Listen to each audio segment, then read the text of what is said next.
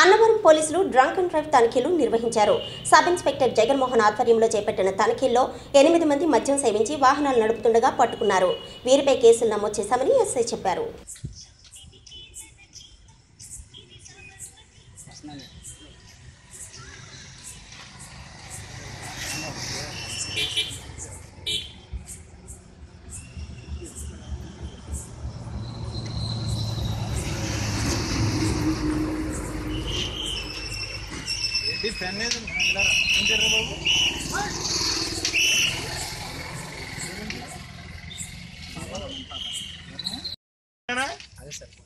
మనం drunk and drive test అనేది conduct చేయడం జరిగింది. దాని నిమిత్తం ఈరోజు సుమారుగా ఒక ఈరోజు ఇప్పటి వరకు ఒక ఏడుగురిని మేము డ్రంక్ అండ్ డ్రైవ్ టెస్ట్లో వదుపులో తీసుకోవడం జరిగింది.